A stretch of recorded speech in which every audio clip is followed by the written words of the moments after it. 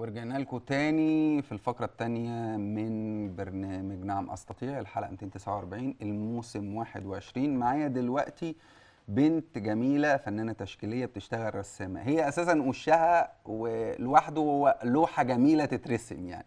بس هي بقى ليها أعمال تانية هي بتعملها إحنا نتعرف عليها دلوقتي. إزيك يا هدير؟ عاملة إيه؟ إزيك إيه يا شيخ؟ الأخبار؟ الحمد لله. عاملة إيه؟ تمام الحمد لله. تمام. أنا بقى عاوزك أنا طبعا عارفك من قبل الحلقة بس أنا عاوزك آه. تقدمي نفسك بقى للمشاهدين كده اسمك وسنك واهتماماتك وكلمي بقى عن نفسك عرفي نفسك. تمام ماشي. أنا اسمي هدير سامي من القاهرة. عندي 21 سنة.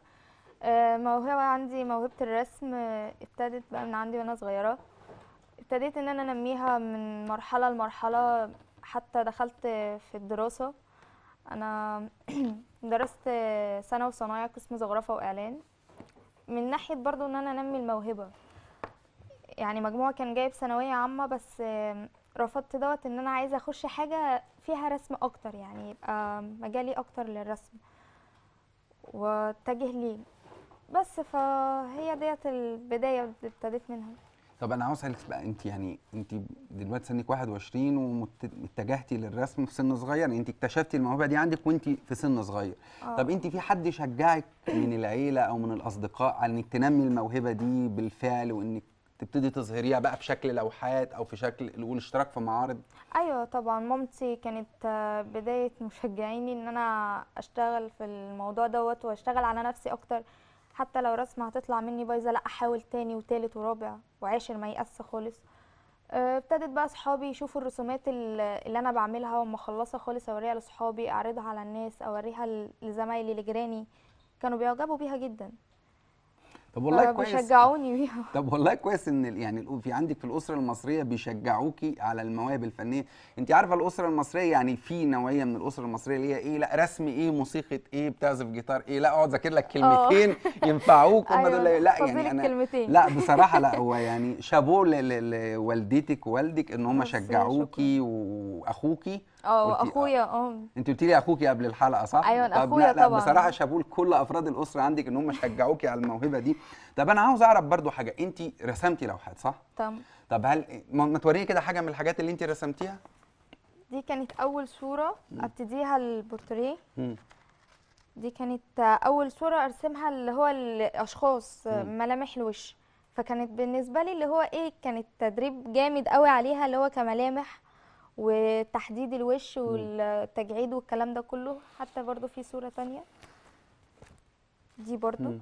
يعني يعني الصور دي صور لأشخاص انت قابلتيهم وقعدتي ترسميهم ولا من وحي خيالك؟ لا من وحي خيالي. ما- بس على فكرة صور معبرة يعني الصورة دي بالذات أنا معجب بيها خلي هي بتعبر عن الرجل المصري إيه، بكل ملامح الزمن والعمل الشاق على وجهه يعني طب انت بالنسبة لك طب ممكن ترفعي شوية الكاميرا كده مم. تمام طب كده؟ ميليها لقدام؟ عشان الناس بس تشوفها أكتر؟ آه. تمام كده. إيه، طيب أنا عاوز أقول لك يعني دي الصورة دي بتعبر لك عن إيه؟ يعني أنا بن أنا بالنسبة لي أنا كشريف هي بتعبر عن رجل مصري تجاعيد الزمن. حزين. حزين. يعني حتى نظرته حزينة. يعني عينيه بص كده على عينيه هتلاقي اللي هو نظرة حزن. هي فيها حزن وشقاء. آه. على مدى يعني سنين طويلة طبعا. شقاء جامد. وده خلي بالك أنت كده برضو بتعبري عن حاجة في وجدان المجتمع.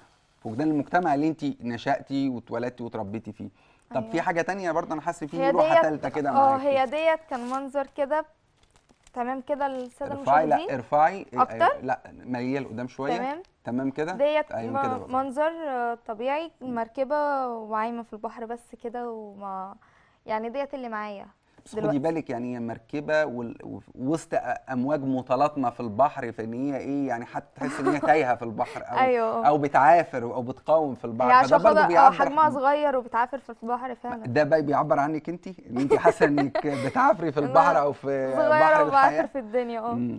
طيب انت هل مثلا اللوحات دي هدفك منها المكسب المادي من عرض اللوحات لا خالص ما ابتديش معايا بكده نهائي. أنا ابتديت إن أنا عايزة أعرف الناس كلها موهبتي مم. عايزة موهبتي توصل للعالمية. العالمية. على طول كده؟ آه العالمية على يعني طول. على طول كده من من من, من, الدار للنار. يعني آه. يعني بالظبط واحد ممثل أنا عاوز أمثل بس في هوليود. يعني أخد الطياره اطلع على هوليود أمثل. أيوه على طول. هي في مصر توصل يعني. توصل لا توصل للناس كلها. توصل ل...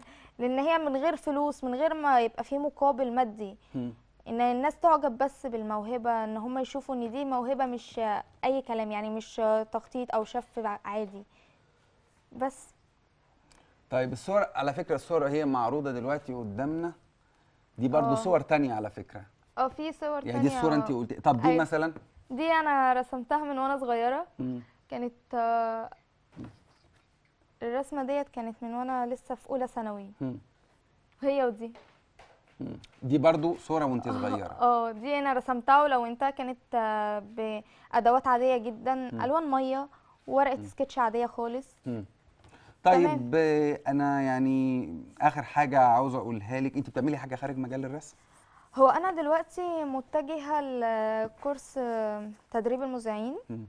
يعني باخد كده أول تجربة إن أنا أبقى مذيعة يعني. في مجال الإذاعة. ده إلى جانب الرسم. إلى جانب الرسم كويس طبعا يعني أنت موهبة فنية متكاملة وإذاعة ورسم فنانة تشكيلية ومذيعة. شفتي بقى؟ طيب على العموم آه، يا هدير إحنا كنا سعداء إن أنت كنت معانا في الحلقة وأنا طبعا وقت الحلقة خلص. فهضطر إن أنا أختم. وأعزائي المشاهدين إحنا كده وصلنا لنهاية الفقرة بتاعتي في حلقة برنامج نعم أستطيع. الحلقة 249 وهسيبكم دلوقتي مع زميلتي الإعلامية هبة صلاح تكمل معاكم بقية فقرات الحلقة.